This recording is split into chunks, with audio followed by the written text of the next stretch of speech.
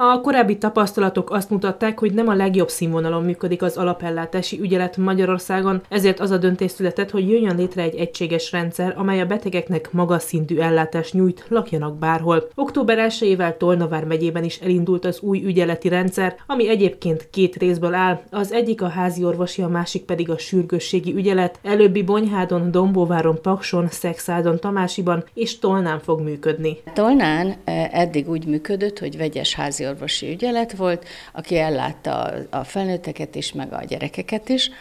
A 16 órát, tehát délután 4 órától másnap reggel 8-ig hétköznaponként, és hétvégén pedig 24 órába. 8-tól másnap reggel 8-ig működött az ügyelet. Ügyeletes autóval, sofőrrel, nővérrel.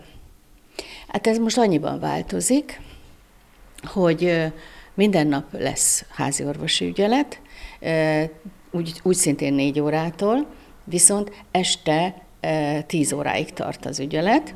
Este 10 óra után pedig a sürgősségi ügyeletet az országos mentőszolgálat veszi át. Ehhez létrehoztak egy új telefonszámot is, a 1830-at. Egy akut esetnél, ahol az idő nagyon lényeges tényező, ott egyértelmű, hogy mentőt kell hívni, és a mentő jön, és ellátja a beteget.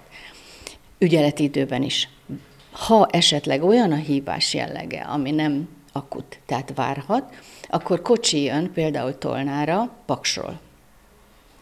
E, ezek a kocsik erről a három helyről a szélrózsa minden irányába mennek, hogyha szükséges, és kivonulhat az ügyeletes orvos. Az október 1-én csatlakozott Heves, Tolna és Csongrád Csanád vármegyében egy nap alatt 388 beteget láttak el, közölte az Országos Mentőszolgálat. A páciensek zöme enyhe panaszokkal, tünetekkel jelentkezett, így az esetek többségében az ügyeleti ellátás elegendőnek bizonyult, kórházba utalásra 5%-nál volt szükség.